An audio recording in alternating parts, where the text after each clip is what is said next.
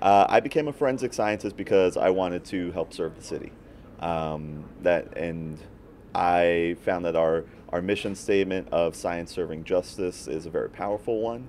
Um, every day we come in here and uh, we do our we do our best to help the residents of the city of New York. Um, I am a shop steward with Local 3005.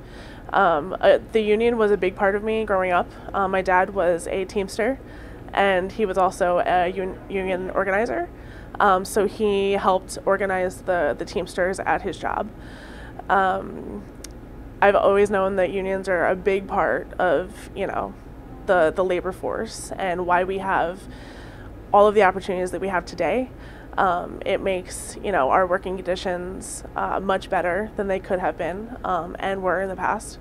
And I am a big proponent of unions. Initially started in the year 2000 as a criminalist two, and I was examining evidence. I was typing DNA, um, testimonies, and then after 9/11, I was assigned to the body IDs for that project. I was assigned to a team that matched the DNA profiles to family members, and we would report that out to the MEs who would then declare identifications based on the DNA information. As soon as I walked in the door, I knew this place was for me. Um, I like helping others. I mean, we're helping others, um, we're helping victims, we're helping um, people that didn't commit crimes, we're helping put people away that did commit crimes.